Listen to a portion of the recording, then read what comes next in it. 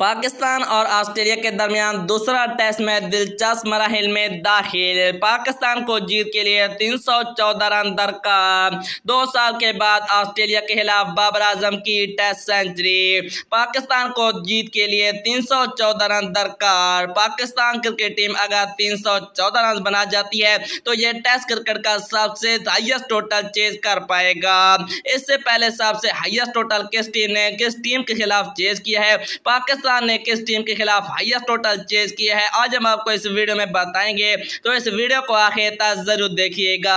इस वीडियो में आगे बढ़ने से पहले इस वीडियो को लाइक और चैनल को ज़रूर सब्सक्राइब कीजिएगा। पाकिस्तान क्रिकेट टीम के कप्तान बाबर आज़म ने ऑस्ट्रेलिया के खिलाफ कराची टेस्ट के दूसरे इनिंग में सेंचुरी मुकम्मल कर ली। ये बाबर आज़म की टेस्ट क्रिकेट में छठी सेंचुरी है। बाबर आज़म ने आखिरी टेस्ट सेंचुरी फरवरी दो हज़ार बीस में रावलपिंडी में बांग्लादेश के खिलाफ बनाई थी।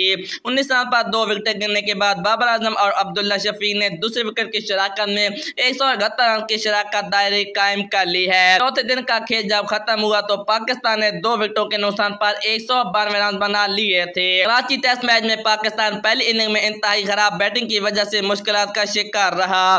पाकिस्तान को अभी तक जीत के लिए 314 रन दरकार है और पाकिस्तान की आठ विकेटें बाकी हैं। अगर हम बात करें तारीख के हाईएस्ट टेस्ट टोटल चेज के बारे में तो वेस्ट इंडीज ने ऑस्ट्रेलिया के खिलाफ दो हज़ार तीन में सबसे हाईएस्ट टोटल जो चेज किया है वो चार सौ अठारह का है। दूसरा हाईएस्ट टोटल भी ऑस्ट्रेलिया के खिलाफ चेज हुआ है पर्थ में चेज हुआ है। साउथ अफ्रीका ने ऑस्ट्रेलिया के खिलाफ दो हज़ार आठ में चार सौ चौदह रन का हाईएस्ट टोटल चेज किया है। अगर हम बात करें पाकिस्तान का हाईएस्ट टोटल चेज के बारे में तो पाकिस्तान ने भी अपना हाईएस्ट टोटल ऑस्ट्रेलिया के खिलाफ नौ विकेटों पर तीन सौ पंद्रह रन का चेज किया था।